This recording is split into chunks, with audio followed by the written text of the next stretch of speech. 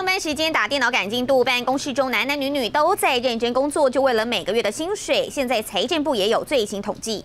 打开财政部性别统计分析，一百零九年男性平均每人所得约六十五万元，女性人均所得约四十二万，性别差异倍数缩到一点五倍，比上一年缩减零点一倍，是二零零九年以来超过十年的最低水准。有些行业可能就是男生会比较吃香，对。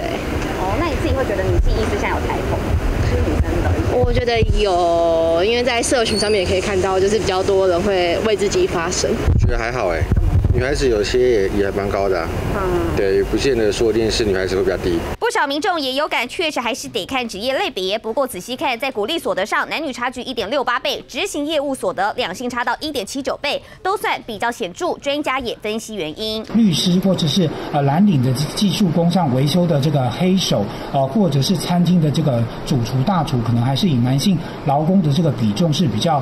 高的比较悬殊的情况下，自然在执行业务所得这边，男女的差异是比较显著一些的。不过，确实男女平均所得差距已经是史上最小，显示男女在职场薪资似乎慢慢拉近距离。三立熊莫国张亚轩台北报道。